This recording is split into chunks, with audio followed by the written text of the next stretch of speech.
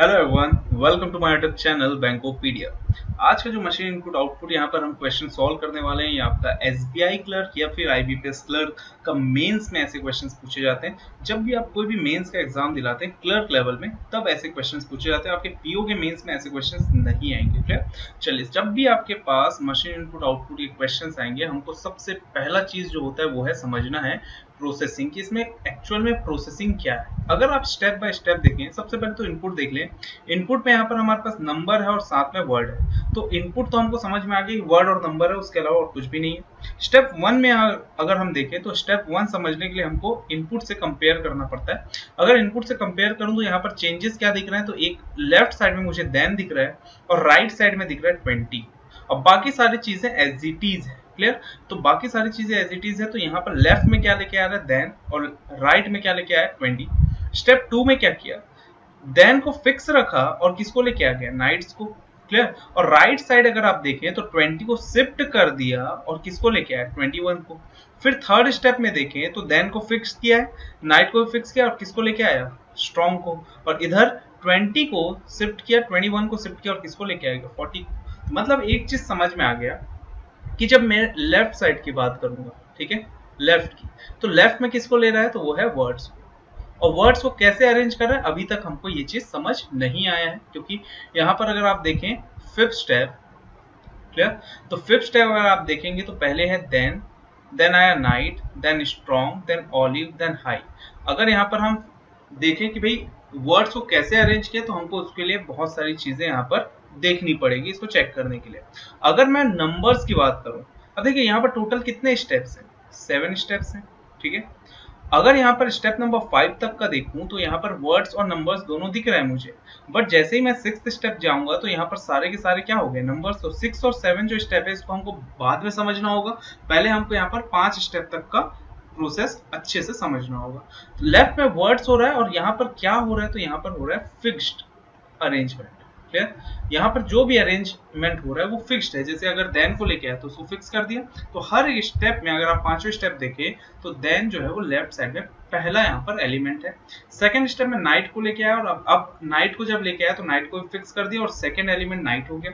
Third step में strong को लेके आया और थर्ड एलिमेंट सब में यहाँ पर फिक्स क्या हो गया? स्ट्रॉन्ग फोर्थ में ऑलिव को लेके आया उसको भी फिक्स कर दिया और फिफ्थ में लेके आया हाई क्लियर और अगर मैं राइट right साइड की बात करूँ तो राइट right साइड में क्या लेके आ रहा है? तो वो है नंबर्स अब इसको समझते हैं कि नंबर्स को यहाँ पर क्या अरेंजमेंट है? तो नंबर में मुझे समझ में आ रहा है। पहले लेके आया ट्वेंटी देन सेकंड में ट्वेंटी वन को लेके आया ट्वेंटी को शिफ्ट किया देन थर्ड में ट्वेंटी ट्वेंटी वन को शिफ्ट करके फोर्टी लेके आया फोर्थ में ट्वेंटी ट्वेंटी वन फोर्टी ये सबको शिफ्ट करके फिफ्टी फोर लेके आया और लास्ट में सेवेंटी फाइव लेके आया। तो नंबर मुझे यहाँ पर क्या हो रहा है? तो वो है शिफ्टिंग एक चीज़ समझ में आ गया, जो लेफ़्ट साइड में है वर्ड्स को लेके जा रहा है, उसको फिक्स्ड कर रहा है और राइट साइड में नंबर्स को शिफ्ट कर रहा है। क्लियर इतना समझ में आ गया होगा।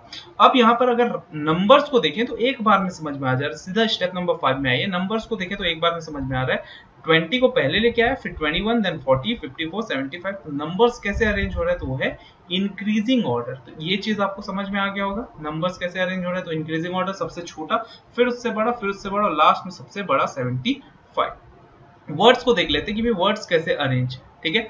तो अब वर्ड्स को समझने के लिए हमको यहाँ पर बहुत सारी बातें यहाँ पर हमको पता होना चाहिए। और दूसरी चीज़, कैसे यहाँ पर हम वर्ड्स के यहाँ पर अरेंजमेंट निकाले तो उसके लिए यहाँ पर आपको क्या क्या करना होगा तो वो सारी चीज़ें भी आपको पता होनी चाहिए। अगर मैं यहाँ पर वर्ड्स की बात करूँ तो वर्ड्स को कैसे अरेंज किया जाता है? या तो फ़र्स्ट लेटर से अरेंज किया जाता है तो फ़र्स्ट लेटर में असेंडिंग डिसेंडिंग अब इसको चेक कर लेते हैं कि क्या फ़र्स्ट लेटर से असेंडिंग डिसेंडिंग यहाँ पर है? तो अगर आप देखें तो पहले टी है। देन एन है देन एस है देन ओ है देन एच है। आपको नंबर्स पता होना चाहिए लेटर्स के नंबर्स पता होना चाहिए, तब जाके आप जल्दी इस चीज़ को फाइंड कर पाएँगे कि फ़र्स्ट लेटर से है, कि लास्ट लेटर से है, कि यहाँ पर स्ट्रिंग लेंथ से है, कि फ़र्स्ट एंड लास्ट लेटर को ऐड करके किया गया है, कि सेकेंड लेटर से है। ये सारी चीज़ें आपको तब पता चलेंगी जब आपको लेटर्स के नंबर्स अच्छे से पता होंगे। इसीलिए मैं बार बार बोलता हूँ आपको कि लेटर्स 26 तो लेटर्स होते हैं, और अल्फ़ाबेट टोटल 26 कुछ 26 नंबर्स के 26 लेटर्स के नंबर्स अच्छे से आपको याद होना चाहिए। जैसे टी की बात करूँ तो फ़र्स्ट लेटर से अगर देखें कि भाई फ़र्स्ट लेटर से अरेंज है गया तो टी जो है 20 फिर उसके बाद एन को लेके आया एन का नंबर 14 देन एस को लेके आया तो एस का नंबर 19 देन जी को लेके आया जी का नंबर सेवन ऑलिव को लेके आया, ठीक है? सॉरी स्ट्रॉन्ग के बाद ऑलिव लेके आया तो ओ का नंबर कितना है? तो वो है 15 तो 19 के बाद यहाँ पर आएगा 15 ठीक है? फिर यहाँ पर अगर मैं बात करूँ हाई तो हाई का नंबर में एच एच का नंबर हो गया 8 अब ना ही ये मुझे असेंडिंग दिख रहा है, ना ही डिसेंडिंग दिख रहा है तो ये फ़र्स्ट लेटर से तो अरेंज नहीं हुआ है। जो जो मेरा वर्ड है, वो फ़र्स्ट लेटर से तो अरेंज नहीं हुआ है। अब देखते हैं सेकंड सेकेंड चीज़ में आपको चेक करना है लास्ट लेटर ये सारी तरीके आपको पता होना चाहिए कि आपको कैसे कैसे यहाँ पर फाइंड करना है। सबसे पहले फ़र्स्ट लेटर देखो, फिर लास्ट लेटर देखो देन स्ट्रिंग लेंथ देखेंगे, उससे भी नहीं होगा तो फ़र्स्ट और लास्ट लेटर को ऐड करके देखेंगे, उससे भी नहीं होगा तो यहाँ पर हम सेकेंड लेटर सबका चेक करेंगे। तो ये सारे चेक करने के तरीके होते हैं। देखिए, मैं यहाँ पर आपको डायरेक्ट ये भी बता सकता हूँ कि यहाँ पर हुआ क्या है। क्लियर बट आपको यहाँ पर हर एक यहाँ पर जब भी आप एग्ज़ाम दिलाएँगे, हर एक क्वेश्चन ऐसे ही नहीं आएगा ना जो यहाँ पर हम सॉल्व कर रहे हैं। हर एक क्वेश्चन का कॉन्सेप्ट हर एक क्वेश्चन का प्रोसेस जो है वो अलग होगा। तो जब आप काफ़ी सारे क्वेश्चन सॉल्व कर चुके होंगे, तब आपको ये चीज़ समझ में आएगा कि यहाँ पर क्या क्या प्रोसेस यहाँ पर होता है। चलिए लास्ट लेटर से अगर मैं देखूँ कि अरेंजमेंट लास्ट लेटर से है तो देन में एन जो है उसका नंबर होता है फोर्टीन नाइट्स तो एस का नंबर होता है 19 देन स्ट्रॉन्ग तो जी का नंबर हो गया सेवन देन ऑलिव ई का नंबर हो गया फाइव देन हाई एच का नंबर हो गया एट अगर आप ध्यान से देखें तो ये मुझे लास्ट लेटर से भी नहीं दिख रहा है क्लियर अब लास्ट लेटर से नहीं दिख रहा है तो थर्ड चीज़ मैं क्या करूँगा? स्ट्रिंग लेंथ स्ट्रिंग लेंथ आपको बताया था कि स्ट्रिंग लेंथ होता है number of letters in a word clear तो देन में कितने यहाँ पर? अगर आप देखें कितने लेटर्स है देन में फोर है। देन नाइट्स की बात करें तो छह है। देन स्ट्रॉन्ग की बात करें तो छह है। ऑलिव की बात करें तो पाँच है।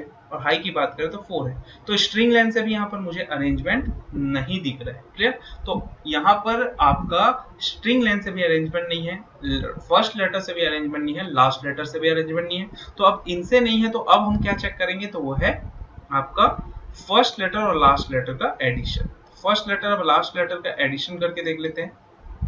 तो देखो, अगर मैं यहाँ पर बात करूँ देन का क्लियर तो देन में फ़र्स्ट लेटर है टी और लास्ट लेटर है एन तो टी का नंबर होता है ट्वेंटी और एन का नंबर होता है फोर्टीन टोटल कितना हो गया? थर्टी ठीक है?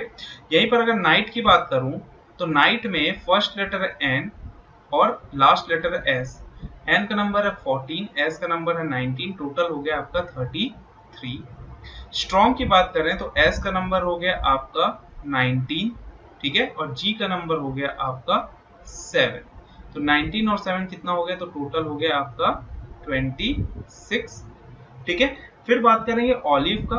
ऑलिव में अगर हम देखें तो ओ का नंबर होता है 15 और ई e का नंबर होता है 5 तो ये टोटल हो गया 20 और हाई की बात करें तो एच का भी 8 दोनों में ही एच है तो एच और एच यहाँ पर दोनों ही 8 और 8 है तो 8 और 8 16 अगर आप ध्यान से देखें तो यहाँ पर सबसे पहले देन को जब हम लिखें तो देन का नंबर कितना है? 34 यहाँ पर लिख लेते हैं। फिर नाइट्स का 33 उसके बाद यहाँ पर आपके पास स्ट्रॉन्ग था, उसका नंबर कितना है? 26 देन यहाँ पर आपके पास ऑलिव था, जिसका नंबर है 20 और लास्ट में हाई है, जिसका नंबर है 16 तो अगर आप फ़र्स्ट लेटर और लास्ट लेटर को ऐड करके देखें, तब हमको समझ में आ रहा है कि यहाँ पर first letter and last letter को ऐड किया है, और उसको अरेंज कैसे किया है तो वो है डिसेंडिंग ऑर्डर तो वर्ड्स को कैसे अरेंज किया है? तो वर्ड्स को अरेंज किया यहाँ पर डिसेंडिंग ऑर्डर में तो यहाँ पर लिख लेते हैं यहाँ पर देखिए इनपुट के नीचे लास्ट में देखिए वर्ड्स को कैसे अरेंज किया तो वो है डिसेंडिंग ऑर्डर और कैसे डिसेंडिंग ऑर्डर में? तो sum of first and last letter तो फ़र्स्ट लेटर और लास्ट लेटर को ऐड करके उसको कैसे अरेंज किया डिसेंडिंग ऑर्डर ये एक चीज़ समझ में आ गया। और दूसरा, जो राइट right साइड में नंबर्स को लिया था, उसको शिफ्टिंग कर रहा था और कैसे यहाँ पर अरेंज किया तो यहाँ पर हमने लिखा था उसको इंक्रीजिंग ऑर्डर में। तो पाँच स्टेप मुझे समझ में आ गए, अब सिक्स एंड सेवन स्टेप यहाँ पर समझना होगा। सिक्स स्टेप की बात करें तो देखिए, यहाँ पर सिक्स स्टेप में देखो तो ज़ीरो नाइन के बाद यहाँ पर ट्वेंटी है और twenty twenty one forty fifty four seventy five ये एज इट इज़ है, जैसा फिफ्थ स्टेप में था, वैसे ही है। यहाँ पर कुछ भी चेंज नहीं हुआ है। बस ये जो वर्ड्स दिख रहे हैं, उसके जगह अब नंबर्स लिखा हुआ है। ये नंबर्स कैसे आते हैं? देखिए, ये नंबर्स जो है, या तो स्ट्रिंग लेंथ लिख दिया जाता है, जैसे डैन का फोर है नाइट का सिक्स है स्ट्रॉन्ग का सिक्स है बट यहाँ पर हमको नहीं दिख रहा है। यहाँ पर हमको twenty eight nine twelve nine कुछ इस तरीके से दिख रहा है। अगर ऐसा नहीं है तो आप फ़र्स्ट लेटर लेके देखो। तो अगर टी की बात करें तो टी का नंबर है ट्वेंटी बट यहाँ पर क्या है? एट नाइट की बात करें तो एन का नंबर कितना होता है? फोर्टीन बट यहाँ पर क्या है? नाइन तो फ़र्स्ट लेटर नहीं है। फ़र्स्ट नहीं है तो लास्ट चेक किए तो यहाँ पर लास्ट भी नहीं है, क्योंकि देन में लास्ट लेटर एन है एन का नंबर फोर्टीन ये भी नहीं है। अगर आप ध्यान से देखें तो दो बार नाइन यूज़ हुआ है। एक तो यहाँ पर नाइट के नीचे और एक यहाँ पर हाई के जगह। क्लियर यहाँ पर ये भी नाइन है। अगर आप ध्यान से देखें, देखिए यहाँ पर, ये भी आपका नाइन है। सेकेंड एलिमेंट और यहाँ पर ये वाला ट्वेल्व के जस्ट बाद वाला भी नाइन है। और एक नाइट्स के लिए है और एक हाई के लिए। अगर इन दोनों में कॉमन ढूंढो तो मुझे कॉमन आई दिख रहा है, दोनों में आई दिख रहा है। और आई का नंबर क्या होता है? तो आई का नंबर होता है नाइन तो अब इसको चेक करने के लिए कि क्या सबके लिए सेकेंड लेटर है? क्योंकि हाई और नाइट दोनों में क्या है?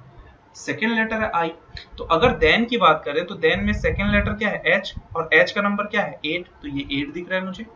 ठीक है? नाइट्स में आई का नंबर नाइन था तो ये नाइन दिख रहा है। स्ट्रॉन्ग में टी है टी का नंबर होता है ट्वेंटी फिर सेकेंड लेटर देख रहे हैं सबका। ऑलिव में सेकेंड लेटर क्या है? एल और एल का नंबर कितना है? ट्वेल्व और हाई में आई आई का नंबर है नाइन तो मुझे समझ में आ गया कि लेटर्स जो हैं सॉरी नंबर्स जो हैं, ये पाँच स्टार्टिंग के नंबर्स स्टेप सिक्स में, ये क्या है? तो वो है सेकेंड लेटर तो हर एक वर्ड का अरेंजमेंट के बाद सेकेंड लेटर का यहाँ पर सीधा नंबर लिख दिया अब ये नंबर्स वगैरह, ये सारी चीज़ें आपको विद इन अ सेकेंड पता कर लेना है कि भाई ये नंबर्स कैसे आए कैसे चेक करेंगे? फ़र्स्ट लेटर देख लो, नहीं है तो लास्ट लेटर देख लो, नहीं है तो first letter last letter second letter third letter आपको ये सब चीज़ चेक करना पड़ेगा और ये सारी चीज़ें के लिए यहाँ पर टाइम नहीं लगेगा जब आपको बार बार बोलो अल्फाबेट्स के नंबर्स याद होंगे। चलिए स्टेप नंबर सेवन की बात करें तो यहाँ पर कुछ भी नहीं किया है। सीधा डिसेंडिंग ऑर्डर में अरेंज कर लिया, सबसे पहले 75 देन 54 देन 40 देन 21 देन 20 फिर 20 12 9 9 और 8 तो यहाँ पर क्या किया तो वो है डिसेंडिंग ऑर्डर तो अब समझ में आ गया कि पाँच स्टेप्स तक वर्ड्स और नंबर्स को अरेंज किया। वर्ड्स को यहाँ पर फिक्स्ड अरेंजमेंट किया है और लेटर्स जो नंबर्स हैं, उसको यहाँ पर आपका शिफ्टिंग किया और लेटर्स नंबर्स जो है, उनको इंक्रीजिंग ऑर्डर में अरेंज किया और शिफ्ट करते जा रहा और जो भी यहाँ पर हमारे पास वर्ड्स हैं, उसको क्या किया है? तो फ़र्स्ट और लास्ट कोई भी सा वर्ड है, उसका फ़र्स्ट लेटर और लास्ट लेटर के यहाँ पर सम किया है और उसको फिर डिसेंडिंग ऑर्डर में अरेंज कर दिया। जो सबसे बड़ा नंबर है उसको पहले लिख लिया, जो सबसे छोटा है, उसको लास्ट में। और सिक्स और सेवेंथ स्टेप में क्या हुआ है? तो सिक्स स्टेप जो है, वो आपका सारे ही वर्ड्स के सेकेंड लेटर है और बाकी यहाँ पर सेवेंथ स्टेप में क्या किया है तो वो है डिसेंडिंग ऑर्डर में अरेंज कर दिया। अब इसके बाद आपके पास ये जो इनपुट है, इसको हमको सॉल्व करना पड़ेगा। तो इसको आप रफ शीट में लिखेंगे और डायरेक्ट यहाँ पर हम नंबरिंग करेंगे। तो चलिए देखते हैं इनपुट अब इनपुट यहाँ पर है। अब आपको करना क्या है तो वो है सिर्फ़ नंबरिंग हमको पता है कि वर्ड जो होंगे, जो भी वर्ड्स हमारे होंगे, वो कैसे होंगे?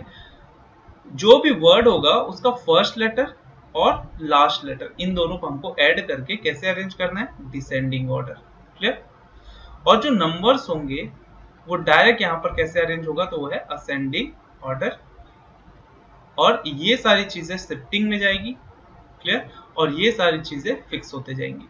ये हमको पता चल गया। तो फ़र्स्ट स्टेप क्या होना चाहिए? तो लेफ़्ट साइड में पहला यहाँ पर जो होगा वर्ड होगा।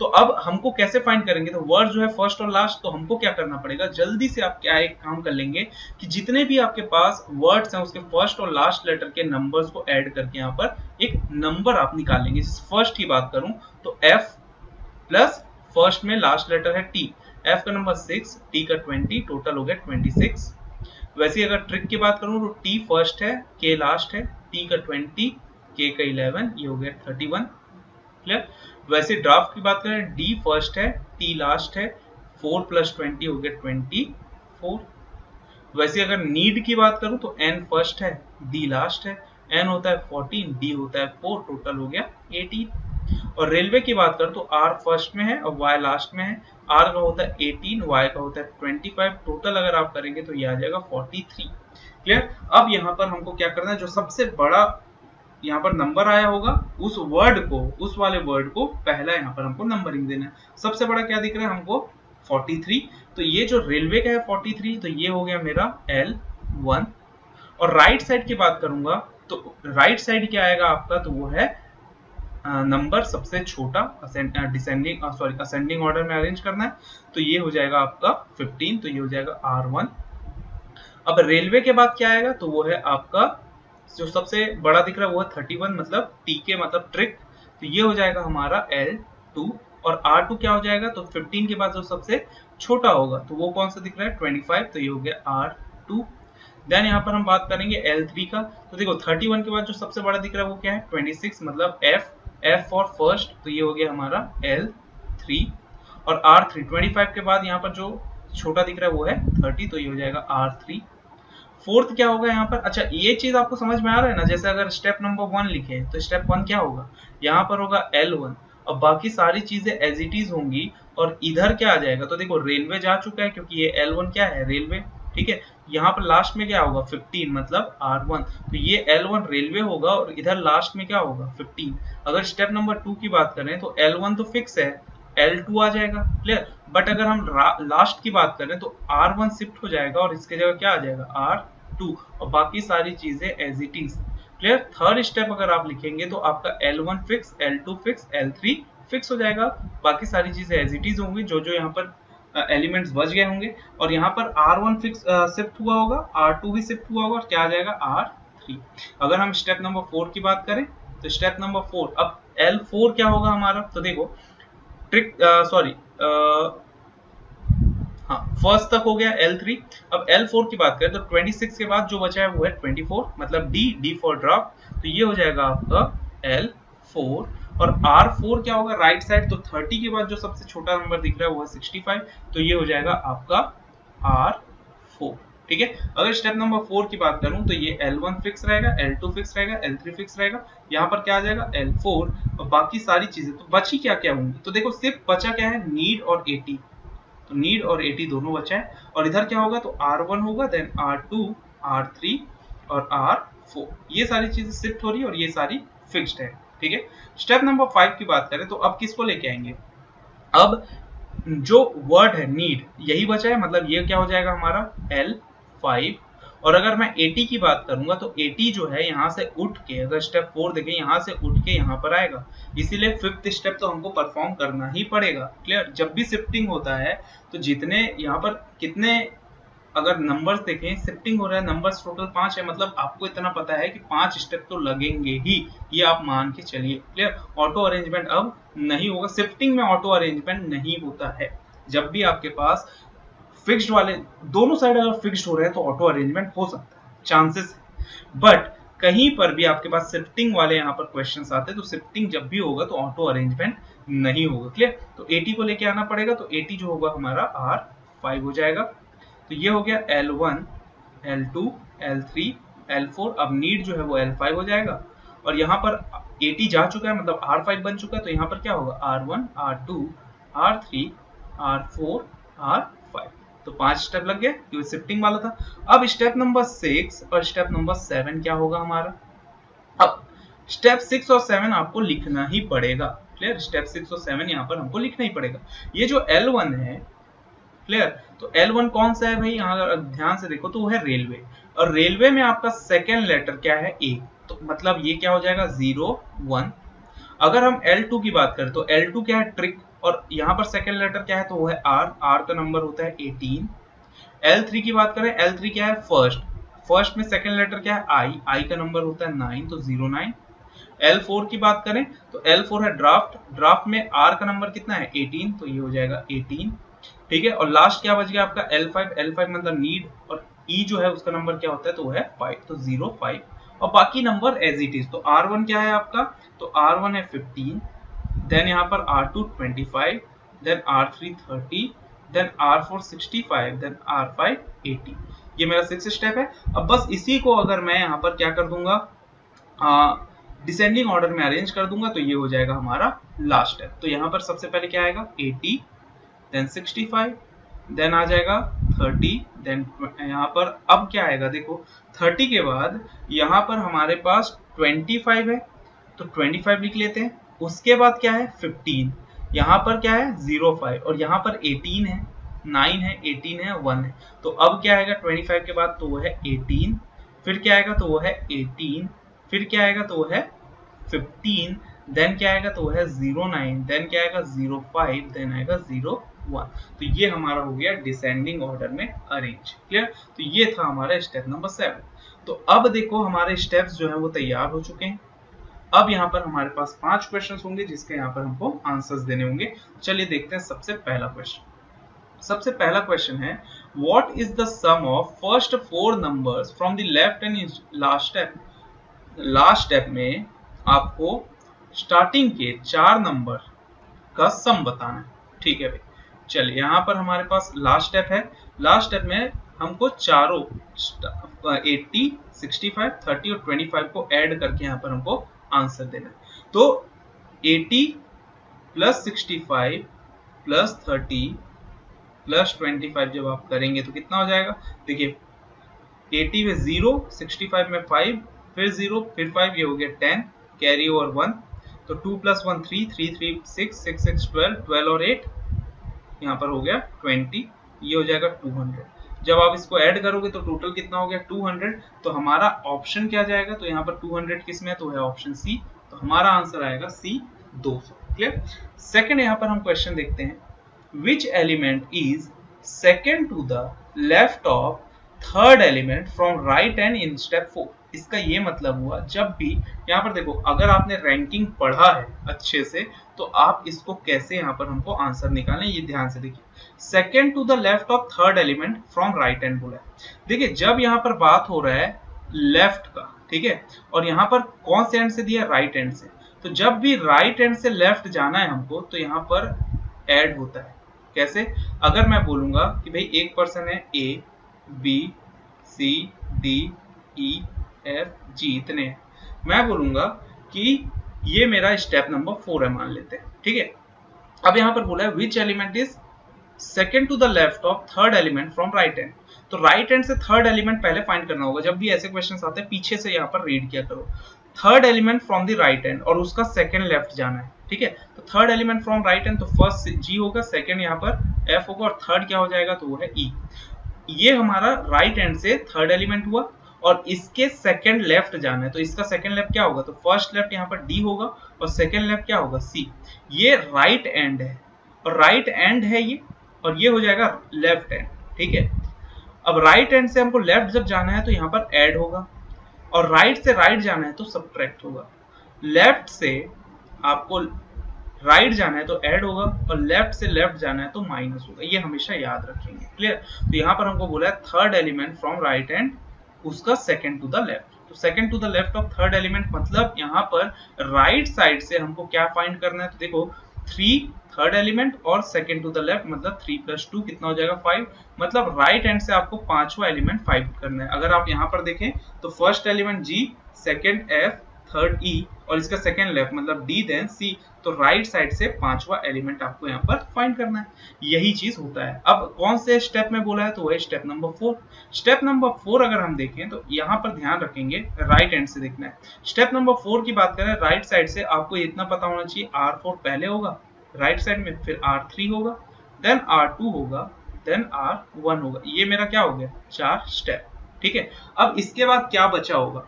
तो अगर आप इनपुट देखें, और यहाँ पर जो हमने स्टेप नंबर फोर लिखा है, उसको देखें तो स्टेप नंबर फोर में हमको क्लियर दिख रहा है कि आर फोर है then R three then R two then R one ये हमारा चार four from the right end हो गया।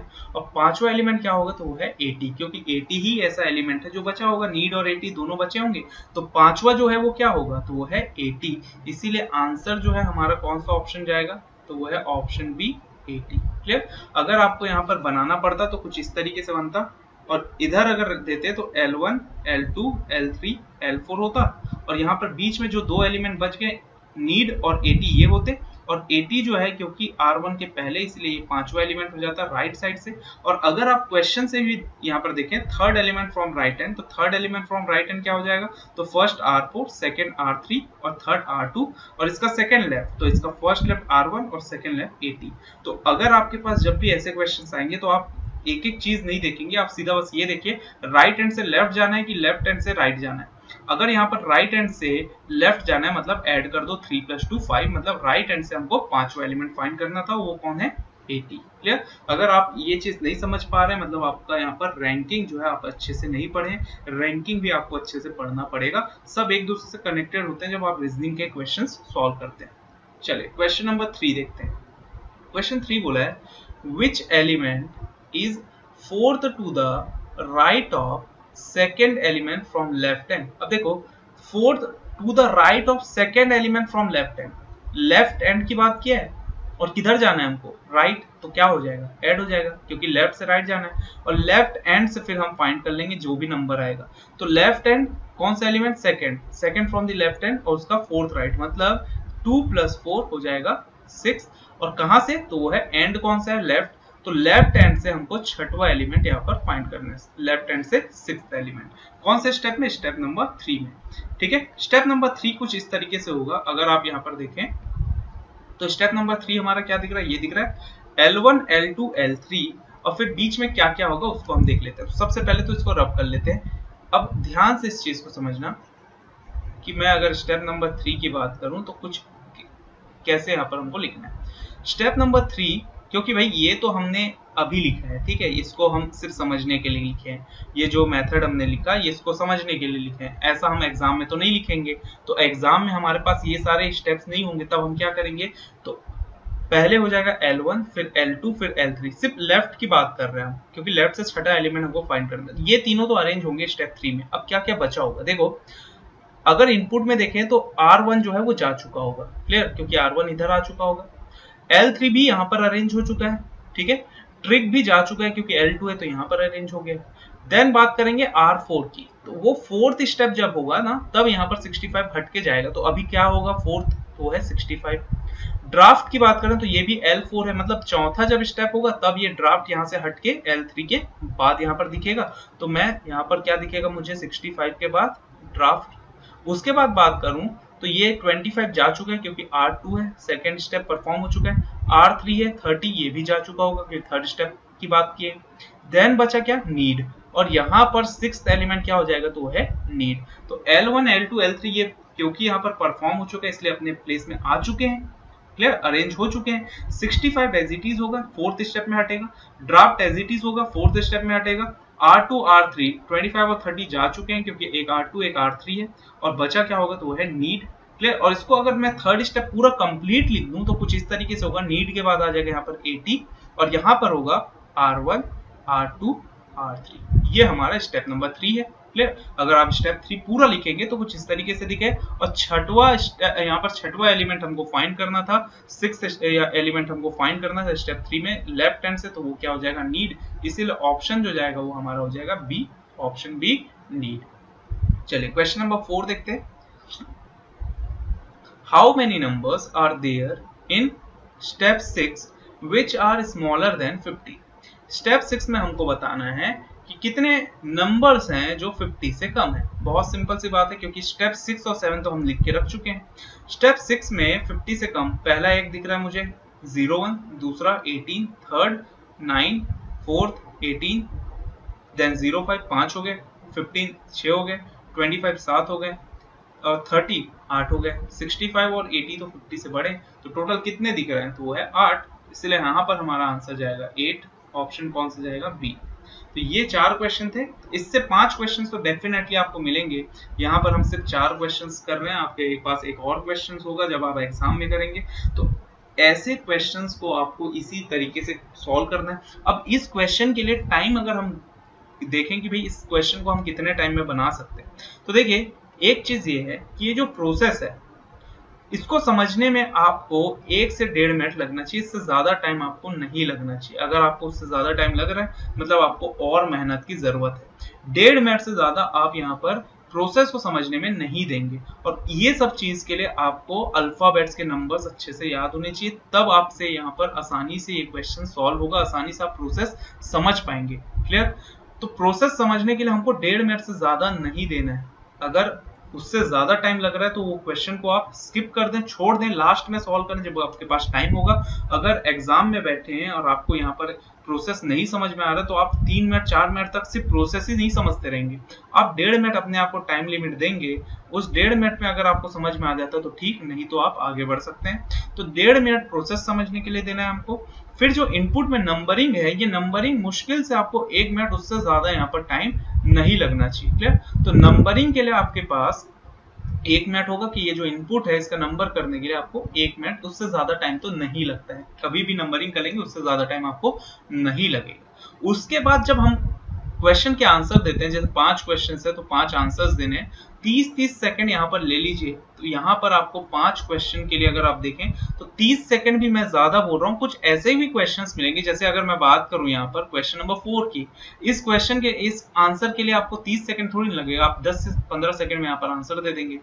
कुछ ऐसे क्वेश्चन होंगे जिसके लिए थोड़ा टाइम लगेगा। तो ओवरऑल मशीन इनपुट आउटपुट जब आप मेन्स के क्वेश्चन यहाँ पर बना रहे हैं मेंस के लिए बना रहे हैं तो पाँच क्वेश्चन के लिए आप पाँच मिनट यहाँ पर दे सकते हैं। तो पाँच क्वेश्चंस के लिए आप पाँच मिनट तक यहाँ पर दे सकते हैं। अगर 30 सेकंड 40 सेकंड एक्स्ट्रा लगे तो भी आप यहाँ पर दे सकते हैं। देखिए, बहुत सारे वीडियोस हैं जिसमें बोलते हैं कि तीन सेकंड तीन मिनट में सॉल्व कर लेंगे, दो मिनट में सॉल्व कर लेंगे। एक्चुअल में ऐसा नहीं है, ठीक है? आँख बंद करके बंद भरोसा करना तो सबसे पहले आप बंद करिए। ऐसा कुछ भी नहीं है कि आप तीन मिनट में बना लेंगे, चार मिनट में बना लेंगे। जब आईबीपीएस एसबीआई की बात कर रहे हैं क्लर्क के मेन्स एग्ज़ाम के तो वहाँ पर क्वेश्चन इतना आसान होगा नहीं। कट ऑफ़ अगर आप देखें तो भाई कट ऑफ़ आप देखे होंगे आईबीपीएस में कितना कम गया है। क्लियर बहुत सारे, गोवा की अगर मैं बात करूँ ना, गोवा में जो क्लर्क का रिज़ल्ट आया, उसमें कट ऑफ़ जो है 35 गया आउट ऑफ़ 100 ठीक है? यहाँ पर अगर हम छत्तीसगढ़ की बात करें तो छत्तीसगढ़ में 43.63 गया आउट ऑफ़ 100 तो कट ऑफ़ आप देख रहे हैं मतलब आपका किसी किसी स्टेट में यहाँ पर आपके कट ऑफ़ जो है 200 में आपको 70 मार्क्स लाने हैं, किसी में यहाँ पर 86 87 मार्क्स लाने हैं 200 की बात कर रहे हैं। कट ऑफ़ जो है बहुत कम जा रहा है। पिछले साल की अगर तुलना में अगर इस साल देखें तो इस साल हर एक स्टेट का पाँच से आठ मार्क्स कम आया है, अगर यहाँ पर हम बात करें आउट ऑफ़ हंड्रेड हंड्रेड की अगर बात करें आउट ऑफ़ हंड्रेड तो पाँच से आठ मार्क्स कम गया है। मतलब 200 मार्क्स में आपके पास 10 से 16 मार्क्स इस बार कट ऑफ़ जो है वो कम गया है। तो मतलब लेवल आप समझ सकते हैं, बिल्कुल भी इजी नहीं मिलेगा। तो ऐसे क्वेश्चन आप पाँच से छह मिनट भी लगाते हैं ना तो कोई दिक्कत नहीं है। बट आपको यहाँ पर एक्यूरेसी में ध्यान रखना है आपका कि जो भी क्वेश्चन यहाँ पर आप सॉल्व कर रहे हैं, वो प्रॉपरली सॉल्व हो, आपका एक भी मार्क्स इधर उधर ना हो और क्वेश्चन जो है वो गलत सॉल्व ना करें। क्लियर क्योंकि अगर आप गलत सॉल्व करेंगे तो आपका माइनस मार्किंग होगा, वो बिल्कुल भी यहाँ पर मेंस में तो बिल्कुल भी माइनस मार्किंग आपका नहीं होना चाहिए। तो ऐसे क्वेश्चंस के लिए आपको यहाँ पर पाँच से छह मिनट आप दे सकते हैं। तो ऐसे ही क्वेश्चन सॉल्व करिए जब आप मेंस लेवल की तैयारी कर रहे हैं। तो मिलेंगे नेक्स्ट वीडियो में। Thank you for watching my videos